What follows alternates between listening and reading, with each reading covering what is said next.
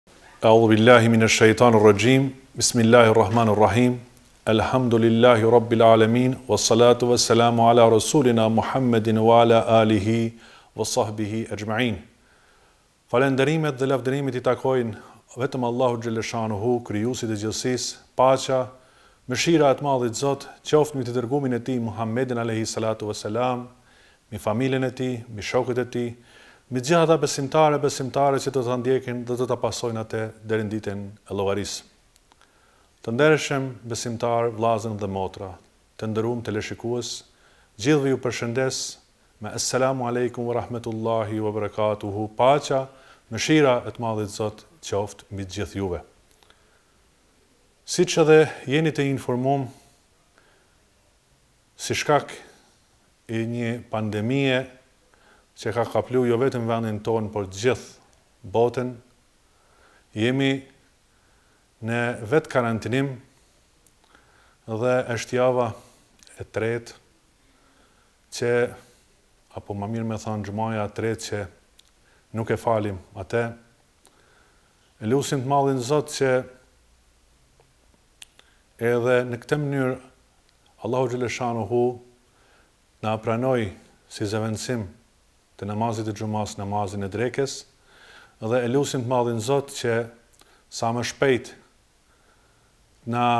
largoj këtë bela e cila e ka kapur jo vetëm vendin tonë por të gjithë botën. Amin. Të ndershëm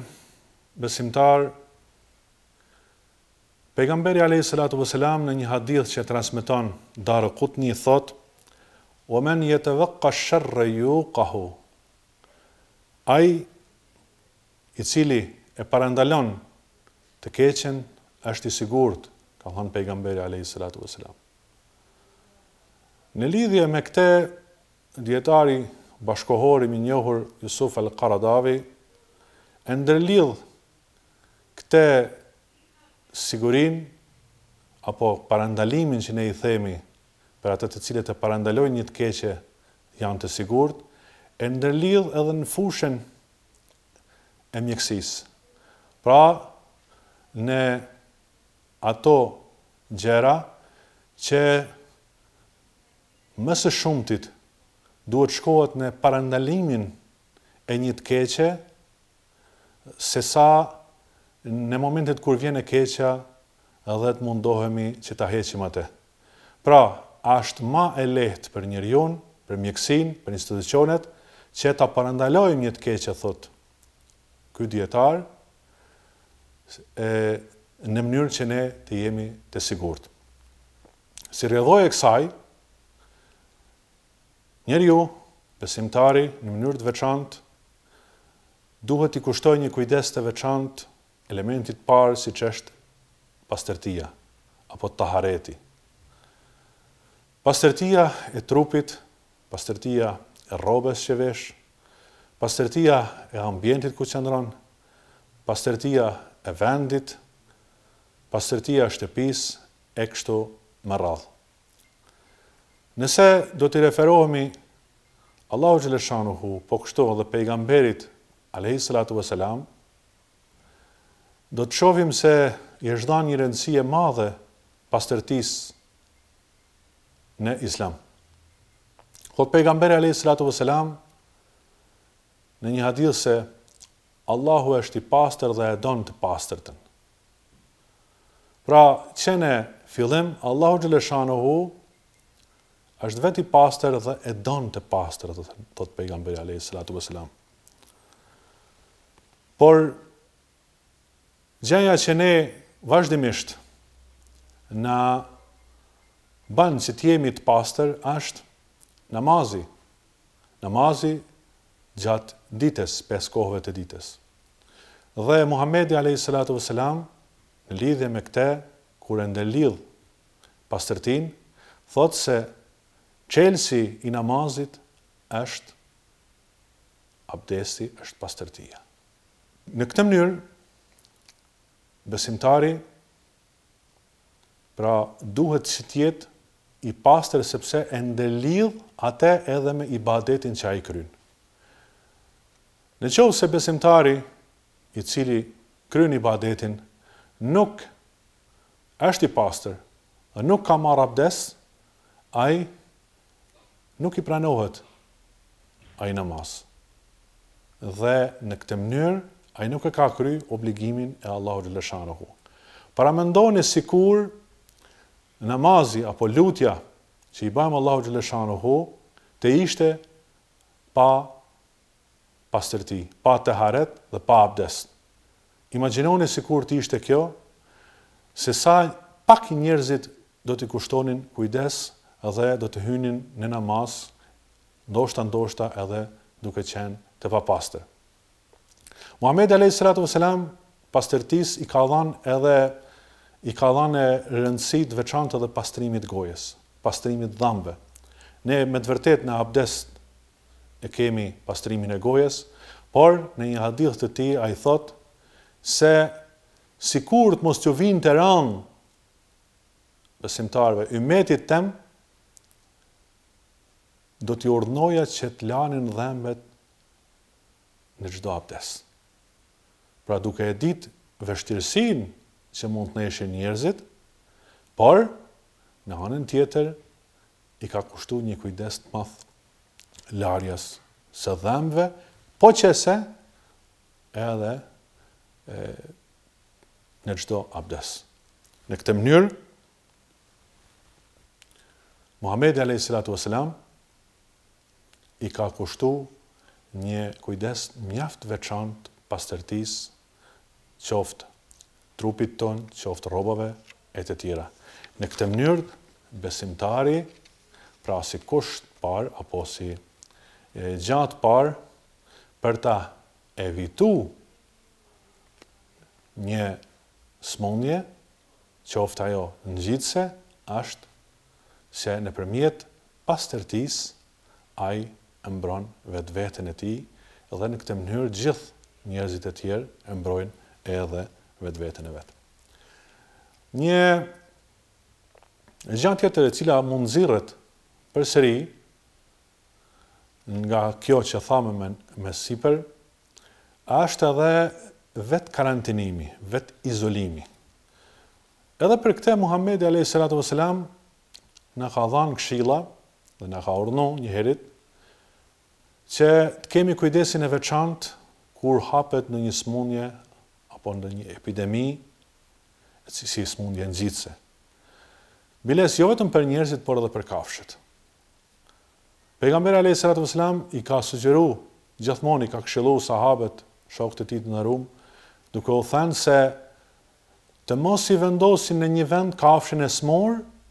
me kafshën e shëndoshtë, sepse e smura do t'ia ngjisë smundjen të shëndoshtë. Apo, Nuk është e mirë, ka thënë Pejgamberi alejhi selam, bile largoni ka thënë, që kur një kafshë e cila e ka zgjeben e vet me e vendos te kafshët e tjera që nuk e kanë ate sepse në kte mënyrë ata e do të smuhen edhe edhe kafshët e tjera. Pejgamberi alayhi salatu wasalam i ka dhënë një kujdes të veçantë siç thamë ma përpara e vetëkarantinimit në raste të caktume si njerëz por edhe si komunitet. Dhe ai ka thanë në një hadith që transmetohet te Buhariu se kur në një vend përhapet ndonjë smundje ngjitëse mos hyni në te. Edhe në qoftë se Smundja ngjitëse është e hapun në atë vendin ku jeni ju, mos dilni nga ai vend. Pra Muhamedi alejhi selatu ve selam i ka ditë fort mirë këto dhe ça difton që edhe smundjet ngjitëse janë shumë të vjetra gati gati me vetë njeriun. Muhamedi alejhi selatu ve selam siç thashë ma përpara na ka udhëzu që të largohena prej atyne vendeve të cilat e kanë smundjen ngjitëse. Thotë Pejgamberi alejhi salatu ves selam, "Wa firra min al-majzumi kama tafirru min al-asad." Largohuni, thotë, prej lebrozes ashtu siç largoheni prej luanit. E dihet se çka është çfarë krahasimit kemi këtu, që luani kur e shofim ate ne i largohemi atij menjëherë prej frikes. Në këte mënyrë, thotë Pejgamberi alejhi salatu ve selam, duhet t'i largohemi edhe lebrozes, pra smundjes ngjitëse që është në këtë rast, ashtu siç i largohemi edhe edhe luanit. Pejgamberi alayhi salatu wasalam na ka udhzu që njeriu të mos qëndroj, njeriu i smur, të mos qëndroj në mesin e njerëzve të shëndoshë. Është fjala për njerëzit e sëmurë të cilët mund të kenë smundje ngjitëse të gripave të ndryshme apo viruseve të ndryshme që mund t'i ketë kapur ata. Një gja tjetër me rëndësi që duhet të ndalemi këtu pas këtyne dy e pas këtyne dy masave që kena marr, qoftë e para kur bëhet fjalë me pastërtinë, e dyta me vetëkarantinimin, pra që duhet të qëndrojmë në shtëpia dhe këtu baj thirrje gjithëve që të qëndrojmë dhe të mos të diskutojmë se nga është ky virus, a është i prodhum në ndonjë laborator apo diç tjetër apo është e virus si rezultat i kësaj e asaj, E jona është në këtë moment duke e ditë se po humbin njerëzit jetë njerëzish, e jona është që ne t'i marrim masat. Kur të shërohemi sepse Pejgamberi alejhi selatu ve selam vetë ka thënë dhe na ka dhënë dhe një siharic që çdo sëmundje e ka shërimin e vet dhe me të vërtetë që kjo do ta ketë shërimin e vet e shpresojmë që Allahu xheleshanuhu t'ju jap e mundësi, t'ju jap dije, t'ju jap fuqi, t'ju jap sabër, durim atyne shkencëtarëve të cilët do ta zbulojnë, do ta zbulojnë këtë ilaç në mënyrë që e, të hiqet kjo sëmundje apo të parandalohet e, shtrirja e saj më tej. Pikë pra tjetër që dua të ceki është se Muhamedi alejhi salatu vesselam ka dasht edhe me hjek edhe një mentalitet. Këtë që thashë edhe ma përpara. Njerëzit më përpara, qofshin ato në Mekë, e kanë besu Zotin, Por mënyrën se si e kanë besu ata, ka qenë mënyrë e gabumë, sepse atij i kanë shoqnu e zotat tjerë, pra e kanë barazu me Allahun xheleshanuhu, dhe që kjo është dhe quhet shirk. Këte e shohim kur thotë Allahu xheleshanuhu në Kuran, ve ma ju'minu ektheruhum billahi illa hum mushrikun, shumica e tyne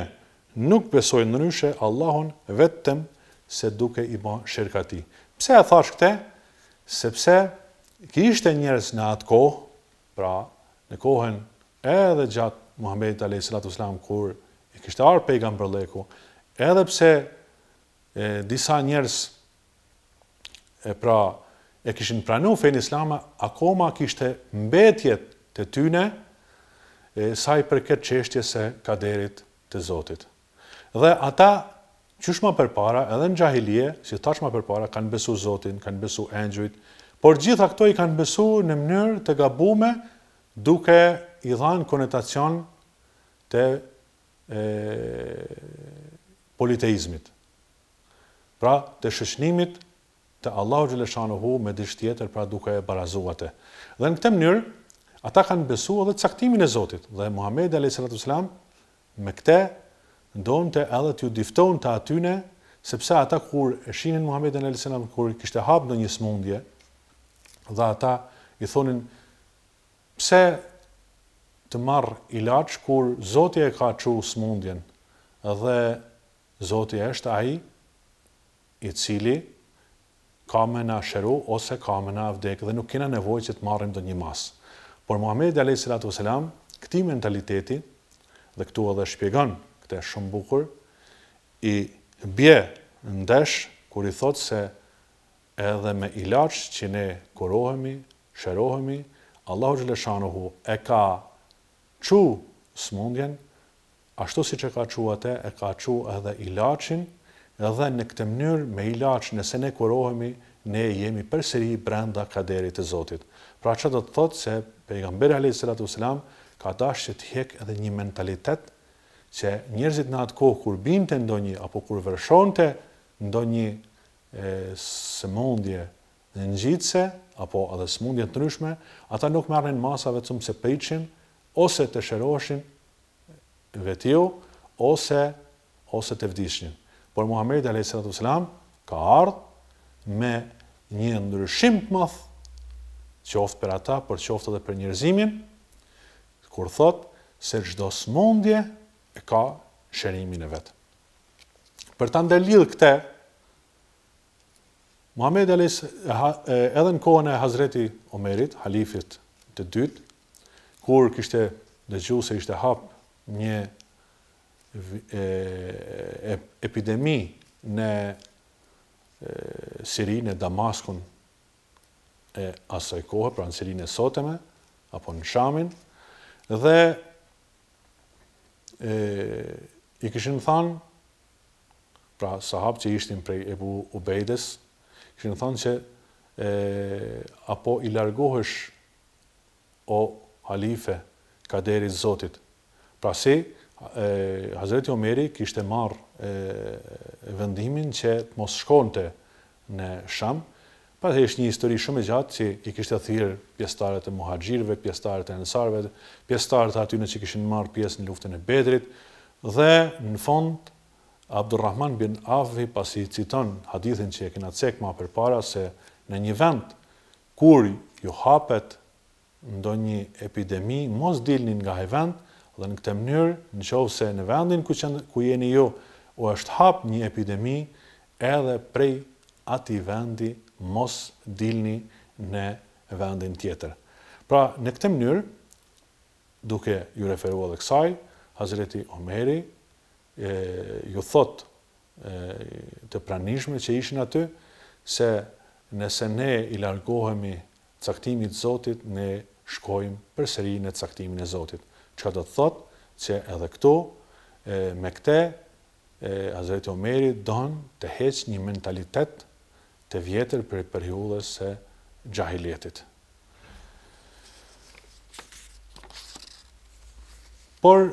çka duhet bajmë ne e vllazën dhe motra të nderum,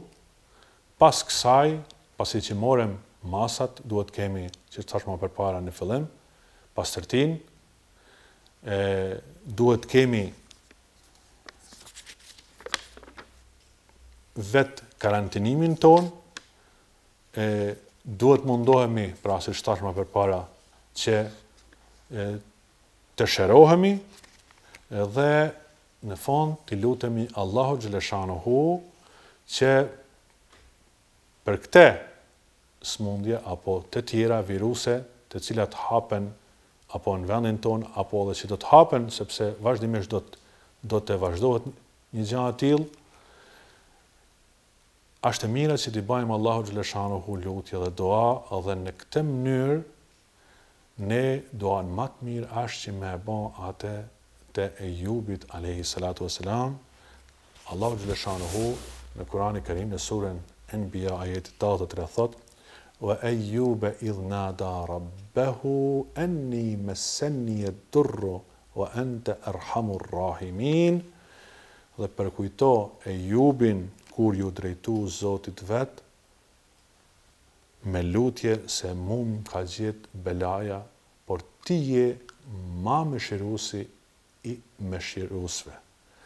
Pra, Ejubi alejhi selatu ve selam ju e dini historinë që nuk do të hyj më thellë në këtë, dihet se atë e ka kap një sëmundje shumë e randë për një kohë të gjatë dhe asnjëherë Allahut xheleshanuhu nuk i është anku, biles edhe në këtë dua kur e shofim ai i drejtohet Zotit dhe i thotë që më ka gjet belaja, i thotë. Allahu xheleshanuhu as nuk i thotë as nuk e akuzon atë me i thanë që ma ke tregu këtë smundje apo diç tjetër por i thotë më ka gjetë belaja më ka kapë smundja dhe i drejtohet atij wa ente erhamur rahimin ndërsa ti o Allah je ma mëshiruesi prej mëshiruesve pra edhe ne duhet të bajmë lutjen që ka ba Ejubi alejhi selatu ve selam, lutjen e Pejgamberit alejhi selatu ve selam që i ka realizu në raste të tilla, por edhe edhe vazhdimisht t'i bajmë lutjet në mënyrë që të mos na kapë një e keqe, një bela, siç është, siç është ky virus. Të ndershëm besimtarë, duke e ditë se jemi edhe në prag të natës së madhe, natës së Beratit, e gjej rastin e që t'ju njoftoj se ditën e martë, pra me shtatë, është nata e madhnushme e Beratit, për të cilën Pejgamberi alejhi salatu ve selam na ka fol në disa hadithe që transmetohen prej Ibni Maxhes në Sunenin e tij, ku ai i ka vu një theks të veçantë natës së pesëmbëdhjetë të muajit Shaban, në të cilën ai na ka shpjegu dhe na ka thënë tek disa hadithe që e shofim se ai person i cili gjatë natës së pesëmbëdhjetë pra të Shabanit e kalon me adhurim me lutje ndërsa ditën me agjerim Allahu xhelleshanuhu zbret në qiellin e natës Pra, dhe i drejtohet besimtarëve se a ka kush i cili ka ndonjë hall, ndonjë bela, ndonjë fatkeqësi, ndonjë gjë tjetër e të mos ia pranojë atë lutje, thotë Pejgamberi alejhi salatu ve selam. Pra, do të kemi rastin që edhe të flasim edhe për këtë natë të madhnueme, por unë sa deshta që t'ju informoj, meqë Sot është e xhuma dhe njoftimet vazhdimisht i kemi pas në ditën e xhuma. E lusim Allahun xhelleshanuhu që t'na i pranojë lutjet tona, duat tona qoftë edhe në shpi ku jemi, t'na i pranojë gjitha ibadetet, sakrificat, lemoshat, e lusim Allahun xhelleshanuhu që të na ruajë nga belatë, nga fatkeqësitë, nga ndonjë e keqe që mund të na godasë neve apo vendin tonë po qoftë edhe tanë njerëzimin. Edhe njëherë e lus Allahun xhelleshanuhu dhe lutuni edhe ju me lutjen